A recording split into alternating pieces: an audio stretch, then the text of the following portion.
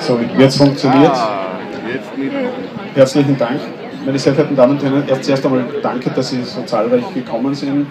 Ähm, ich habe die Ehre, in meiner Funktion jetzt als Koordinator im Bürgermeisteramt für das City of Design gemeinsam mit der Angelika Meister bilden wir dieses Team sicher im Auftrag des Bürgermeisters und damals der Stadt Graz zu begrüßen nachdem es auch heute eine sehr große Geschichte in der kleinen Zeitung gegeben hat, die das Thema sozusagen in besonderer Weise befördert hat, haben wir gedacht, wie geht man das am gescheitesten an? Und gedacht, das wird hier von kreativen und bunten Vögeln wimmeln. Und deswegen werde ich mich vom Kopf bis über das Sakko in bescheidenes Beamtengrau hüllen und hoffe, das erfüllt zu haben. Äh, begrüßen möchte ich, ich mache sicher einen Fall und vergieße irgendwann, weil so viele Leute haben mir das natürlich brav aufgeschrieben. Ich möchte jetzt erst einmal ganz herzlich begrüßen, sozusagen, äh, wie soll man sagen, einerseits den, den Hausherrn, den Herrn Magister Robert Günther, der als Geschäftsführer der 2003 GmbH hier quasi der, der formale Hausherr ist und natürlich in ganz besonderer Weise, hier steht er von mir, den Herrn Hans Höllwart von der Firma SFL, der nicht nur das Kunsthaus und alles mögliche andere, sondern auch diese Insel hier gebaut hat, die immerhin seit 13 Jahren schon munter auf der Mur schwimmt und immer noch, wie Sie sich überzeugen können, wunderbar benannt ist. Herzlich willkommen.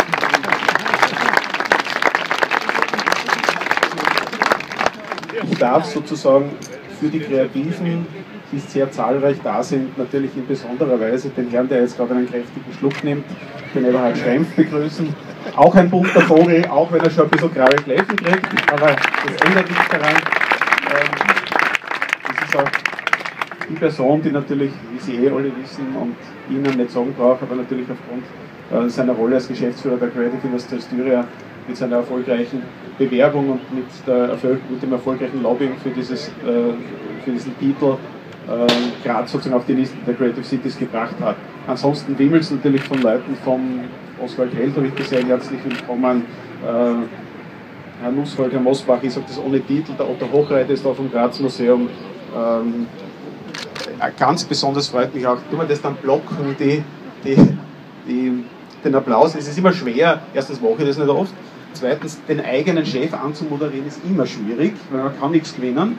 Äh, vor allem, wenn man weiß, dass der Chef sich ja nicht durch besondere Geduld auszeichnet. Das heißt, man muss geschwind sein, es sollte nicht fad sein, also man kann eigentlich nicht wirklich viel reißen dabei und ich werde mich sozusagen trotzdem bemühen, mich über die Bühne zu bringen. Ich freue mich, dass sozusagen nicht nur die Kreativen sehr zahlreich vertreten sind, sondern auch ähm, das Feld der, der, Wissenschaft. Ich sage hier der Herr Professor Samonik, der Herr Rektor Pfeiffer, äh, der Herr Professor Greier, ich vergesse sicher auch wieder ein paar, aber freut mich besonders, dass man sozusagen diese breit gefächerte Kreativität, die wir in Graz haben und die Graz als Creative City auszeichnet, äh, besonders hier auch zur Kenntnis bringen.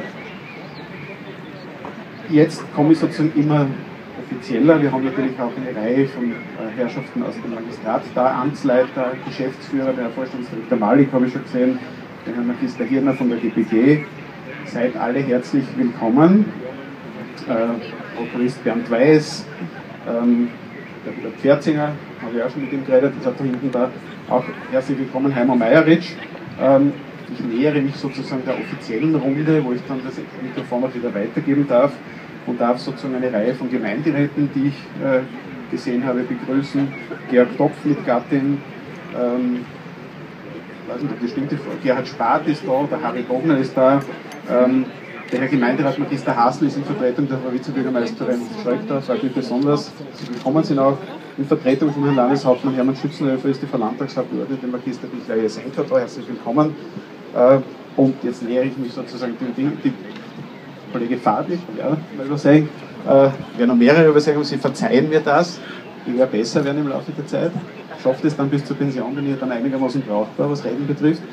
Ähm, ich komme jetzt zu unseren zum offiziellen Ehrengast UNESCO City of Design, die stellvertretende äh, Direktor, äh, Präsidentin der UNESCO-Kommission Österreich, die Frau Magister Stelzel-Marx. Ähm, und die wird dann auch ein paar Worte an uns richten und ich darf jetzt das Mikrofon an den Bürgermeister Nagel. Danke.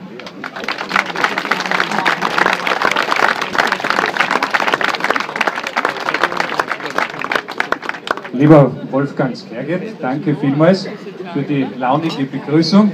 Äh, ich möchte gar nicht jetzt fortsetzen in der Begrüßungsrede, die du begonnen hast, sondern ich möchte einfach alle herzlich willkommen heißen, die mitfiebern, dass es einmal gelingen mag, ähm, dieses Thema City of Design so zu verankern, wie wir es heute auch in der Zeitung intensiv diskutiert und lesen konnten.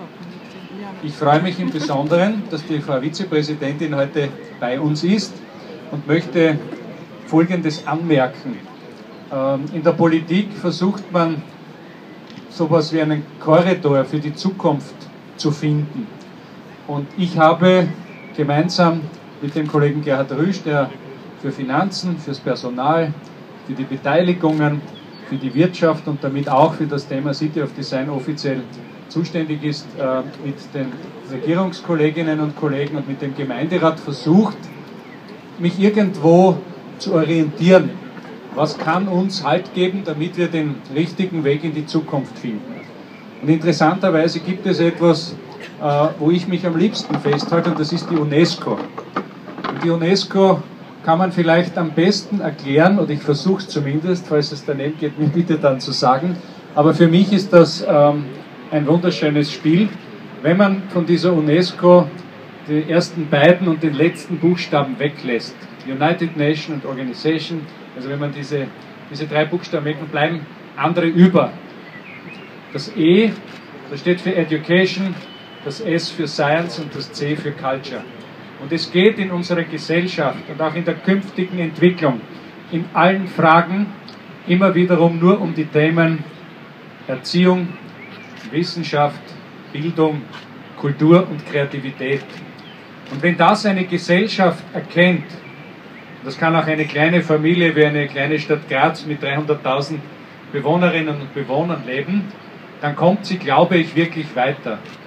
Ich habe heute schon einmal im Rahmen einer internationalen Arbeitssitzung der deutschsprachigen Theater in Graz äh, vor den Schweizer Kollegen, vor den äh, deutschen Kollegen, aber auch vor allem österreichischen Theaterbetreibern, Opernhausbetreibern äh, auch eine Rede halten dürfen und habe auch dort gesagt, es geht darum, äh, den Herausforderungen unserer Zeit und die sind nicht gering, weder am gesamten Erdball noch in der Europäischen Union und auch, in, auch nicht in den Ballungsräumen wie in einer Landeshauptstadt Graz.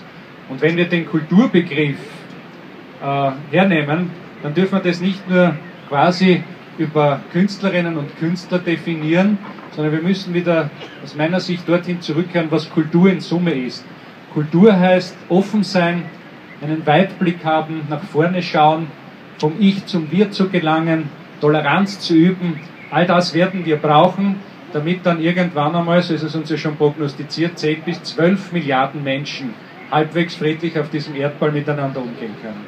Und dafür braucht man Treibstoff, und die UNESCO hat uns in puncto Weltkulturerbe äh, schon, mit der arbeiten wir ganz intensiv zusammen. Das heißt, das, was es aus der Vergangenheit zu bewahren gibt, hat uns die UNESCO als Auftrag mitgegeben. Nicht immer einfach für Bürgermeister. Wir haben noch viel zu erledigen.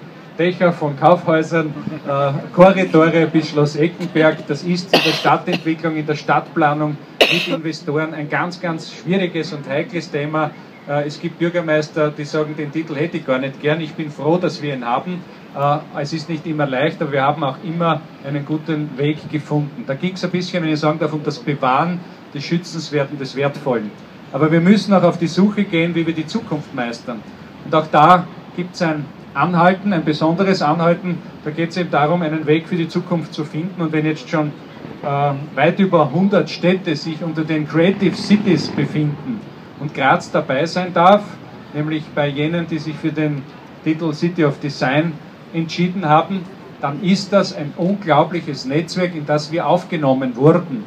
Und man wird oft, wenn man eine Idee hat, und ein paar der Ideengeber stehen ja da, der Heimo Lercher ist da, der Ebert Schrempf ist da, der Gerhard Rüsch ist da, äh, die Marion Wicher ist jetzt, glaube ich, nicht da, aber sie war auch mit dabei.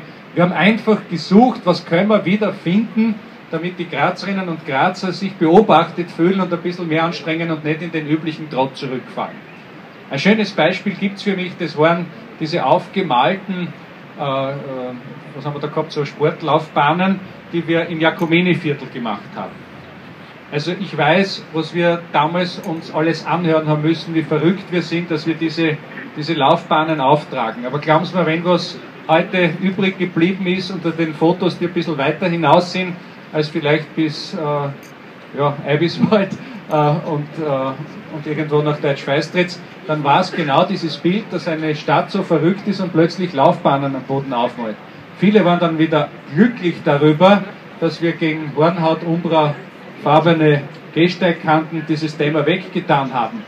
Äh, es macht da nichts, wenn wir wieder was Neues uns wieder einfallen lassen, aber es geht doch darum, auch unverwechselbar zu sein, sich ein bisschen mehr zu trauen.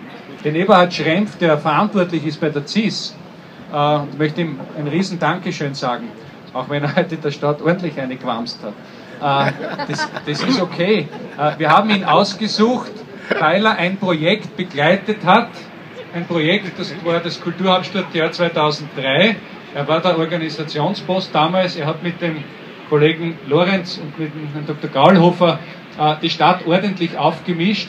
Äh, und ich glaube, dass man das auch braucht. Das braucht jeder daheim, das braucht jeder in seinem Unternehmen. Ein paar, die anschubsen. Und er ist das.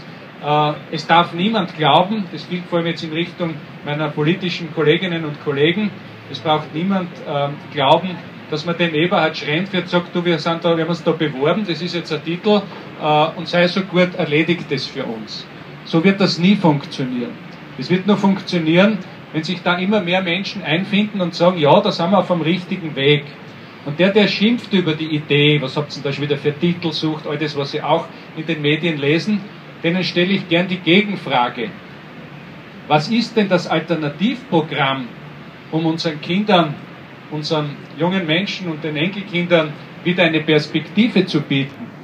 Und ich glaube, dass wir gut ausgewählt haben, weil wir eine Wertschöpfung von rund 1,6 Milliarden Euro in dieser Region haben. Und du kannst weltweit nichts verkaufen und weiterentwickeln und kein Paket überreichen, wenn kein Inhalt da ist. Wir haben Gott sei Dank diesen Inhalt. Wir haben 45.000 Kinder an den Schulen. Wir haben 60.000 Studierende an den vier Universitäten, zwei Fachhochschulen und den zwei pädagogischen Hochschulen. Wir haben in dieser Stadt Unternehmerinnen und Unternehmer, die gerne mit Wissenschaftlern zusammenarbeiten, um die Welt zu verbessern. Und das sehe ich als die große Chance. Wir haben kleinst begonnen. Es entwickelt sich allmählich. Wir kriegen immer mehr Fans. Ich bin Ihnen unheimlich dankbar, dass Sie heute zu dieser Geburtstagsfeier gekommen sind. Es ist der fünfte Geburtstag von einem fünfjährigen Kind erwarten wir uns auch noch nicht, dass die ganze Welt Bescheid weiß. Aber ich komme gerade aus Göteborg und aus Skandinavien zurück, wo wir die Euroskills heimholen konnten, habe mich das erste Mal gefühlt wie bei Heidi Klum auf der Bühne in Englisch und du wirst dann von 27 Staaten bewertet und die lassen sich so viel Zeit. Aber wir haben es geschafft, die Finnen und Helsinki aus dem Bewerb zu schmeißen. Und das bedeutet, dass wir im Jahr 2020 die gesamte Jugend im Ausbildungsbereich da haben werden, wenn ich so sagen darf, die Europa- und Weltmeister in allen Berufen, auch in sehr vielen kreativen Berufen. Das wird auch in Graz eine Rolle spielen. Wir wollen auch neue Berufsfelder entwickeln. Und da werden bis zu 100.000 Nächtigungen auch nach Graz kommen. Und wir können auch wieder einmal sagen, ja, wir sind nicht nur Wissensstadt und Bildungsstadt, sondern wir sind auch Ausbildungsstadt. Es muss nicht jeder Mensch, danke, es muss nicht jeder Mensch studieren. Ja? Es, soll, es sollen Menschen auch Berufe erlernen. Wir werden das ganz, ganz dringend als Wertschöpfung brauchen. Und ich freue mich riesig, dass ich meine Kolleginnen und Kollegen heute aus dem Gemeinderat äh, auch da sehe. Äh, wir müssen dranbleiben. Das ist eine Geschichte, die wird über viele Jahre wachsen. Skandinavien hat auch nicht den Ruf des Designs äh, äh von heute auf morgen erworben, sondern da wurden in dem Fall schon über Generationen dran gearbeitet. Der Auftrag ist riesig. Du hast es wunderbar auf den Punkt gebracht. Ein paar müssen wir nicht wachrütteln, sondern ich glaube, wir müssen schauen, dass wir uns bei ihnen einhängen, dass wir sie dafür gewinnen, mitzutun. Äh, den Wolfgang Skerget ähm, habe ich auch gebeten, diese Koordination innerhalb der gesamten Stadt zu machen. Das ist nicht so einfach. Wir haben 7.500 Mitarbeiterinnen und Mitarbeiter, 70 Firmen. Bis du allen erklärt hast, wo die Reise hingeht, das dauert ein bisschen. Aber ich sehe halt immer mehr Dinge äh, schon in der Stadt, die uns auch zur modernsten Stadt Österreichs äh, werden lassen und den Weg möchte ich einfach fortsetzen. Also zum fünften Geburtstag danke ich jetzt all jenen, die mit uns dieses Baby bisher gefüttert haben. Jetzt finden wir ein paar oder noch mehr Kollegen, damit das Kind ordentlich laufen lernt. Ähm, es ist Design, wie du auch gesagt hast, nicht Behübschung, es ist nicht nur Oberfläche, ganz im Gegenteil, das hat einen, einen Megatiefgang. Und jetzt noch einmal zur UNESCO zurück. Ähm, danke, dass Sie heute da sind und die UNESCO vertreten. Es gibt noch einen dritten Bereich der UNESCO, der genau zu Graz passt. Und das ist das Thema Menschenrechte. Und ich möchte es heute da anschneiden. Es läuft ja auch gerade das Menschenrechtsfilmfestival. Auch da haben wir heuer ein Jubiläum mit 15 Jahren. Und vielleicht beweisen wir der Welt doch, dass es ein gallisches Dorf gibt, wo 158 Nationen mit so viel Kulturen, Sprachen, Religionen friedlich und gescheit miteinander leben können. Das wäre so der Wunsch des Bürgermeisters. Wenn wir das hinkriegen, wäre das fein. Aber auch da arbeiten wir mit der UNESCO zusammen, weil die UNESCO äh, gerade darüber debattiert, ob die Landeshauptstadt Graz künftig nicht nur mehr ein ETC hat, ein europäisches Trainingszentrum für Menschenrechte, das haben wir ja schon, sondern das soll ein UTC werden, äh, schaut auch ganz gut aus. Wir müssen da auch mit dem Land und dem Bund äh, mitfinanzieren, aber dann könnten wir ein UNESCO-Trainingszentrum und damit auch den Sitz für die Entwicklung Richtung Südosten haben. Ein riesiger Auftrag, den Europa und wir alle haben. Jetzt habe ich schon lange geredet, aber äh, bei Geburtstagsfeiern kennt er kein Halten mehr. Lieblingsstory, ich bin ja nicht bei Fünfjährigen, sondern immer bei den Hundertjährigen äh, zum Geburtstag und äh, da möchte ich noch schnell mein, meinen Lieblingsspruch anbringen. Es geht um Zuversicht, meine Lieben. Und die Zuversicht hat mir eine 102-Jährige vor ein paar Monaten gelernt. Sie hat bei der Frage von mir, sehen wir uns nächstes Jahr zum 103. wieder gesagt, da bin ich mir sicher, Sie schauen eh noch ganz gut aus.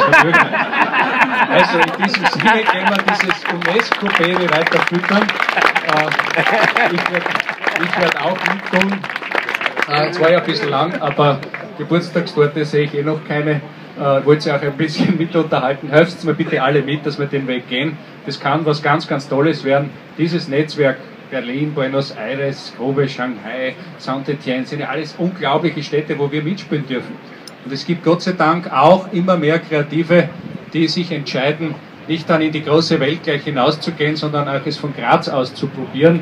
Und denen möchte ich heute im Besonderen danken. Es ist auch ein bisschen euer Geburtstag, wenn ich so sagen darf. Ähm, eine Stadt wird, nie, wird nur so kreativ, originell und lustig sein wie die Bürgerinnen und Bürger, die da leben. Alles Gute. Danke dir, Gerhard. Danke dir auch im Besonderen. Und schön, dass wir Sie heute von UNESCO auch da haben.